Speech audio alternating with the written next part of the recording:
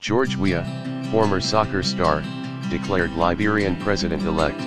Monrovia, Liberia Liberia's National Election Commission has declared and Jewel Howard Taylor vice president-elect following its 26 runoff poll.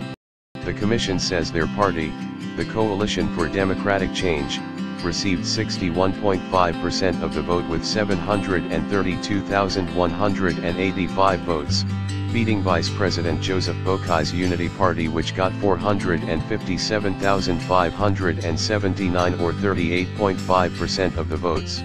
Immediately after NEC Chairman Jerome Korkoya read the final results, Weah's party headquarters erupted into celebration.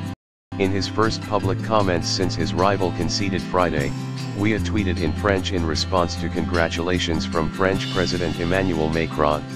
Weah said that we have a lot to do together to accelerate the building of tomorrow's Africa. The former FIFA World Player of the Year played with AS Monaco and Paris Saint-Germain, among others. He is set to take office in January. Liberia, a nation founded by freed American slaves, is seeing its first democratic transfer of power in more than 70 years as President Ellen Johnson Sirleaf, a Nobel Peace Prize winner, steps down.